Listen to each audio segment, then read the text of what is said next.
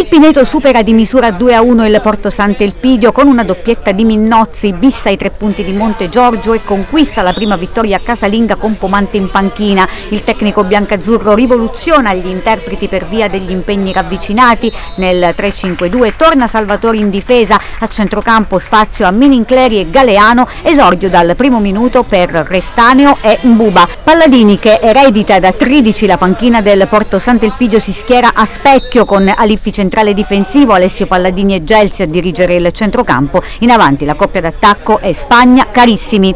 I biancazzurri di casa approcciano bene la contesa e al settimo Minincleri rischia di sorprendere il giovane Cavalieri con un tiro cross insidioso, ma l'estremo di casa si allunga e si salva in corner. I locali fanno la partita e nel giro di due minuti la portano dalla parte dei biancazzurri grazie ad un Minnozzi in palla. Al diciassettesimo si chiude il triangolo Minincleri della Quercia, oggi capitano, che mette in mezzo per Minnozzi la carambola, inganna Cavalieri ed è 1-0 per i biancazzurri.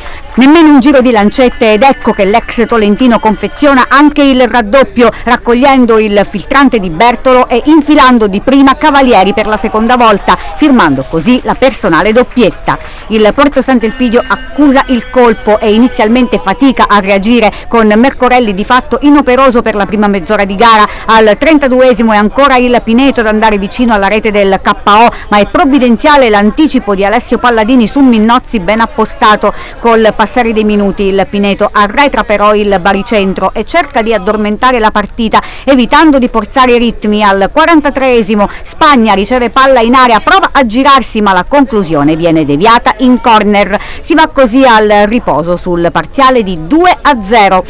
Ad inizio ripresa gli ospiti tornano in campo determinati a riaprire la contesa e riescono ad accorciare le distanze dopo 10 minuti proprio con Spagna, il migliore dei suoi, che lasciato libero di impattare di testa incrocia insaccando all'angolino dove Mercorelli non può arrivare per il 2 a 1.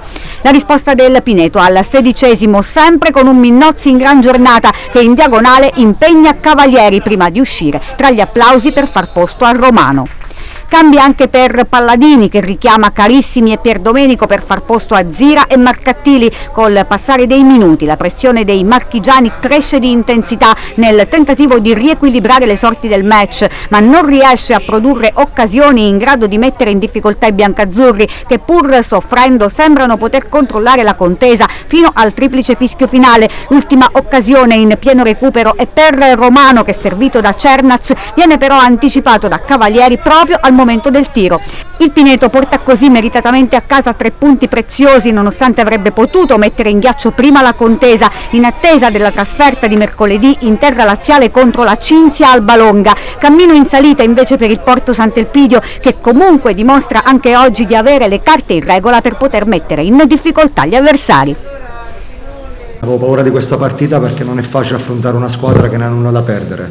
E noi siamo stati bravi a impattarle subito la gara perché siamo andati subito, eh, siamo andati subito due, con due gol di scarto. È normale, sono un po' tra virgolette, parlo tra virgolette, dispiaciuto per il secondo tempo perché ci siamo un po' accontentati e abbiamo rischiato di fare tra virgolette il danno perché quando prendi il 2-1 poi va a rischiare di pareggiare la partita che sinceramente non lo meritavi. Dobbiamo essere più bravi a non accontentarci. Una volta raggiunto il 2-0 dovevamo chiudere subito la partita perché queste sono partite strane.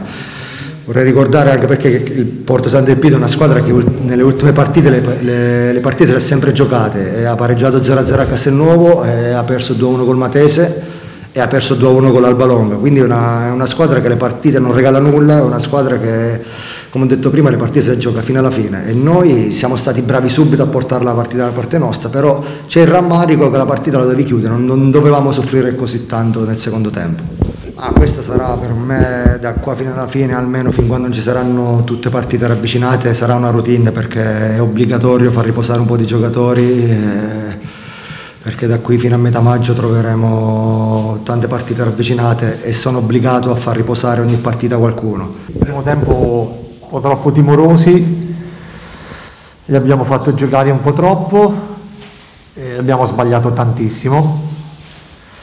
Eh, ripeto, noi tanto in questo momento dobbiamo essere sereni e provare a giocare a calcio. Abbiamo incontrato una signora squadra, nel primo tempo eh, ci hanno messo in difficoltà negli ultimi minuti quando abbiamo cambiato un pochettino modo di giocare perché abbiamo, ci siamo messi coi tre davanti avevamo i punti di riferimento le, e loro giocavano meno e quindi riusci, riuscivamo a prenderli di più e buttavano questa palla in avanti avendo questi giocatori rapidi e soprattutto con Minnozzi.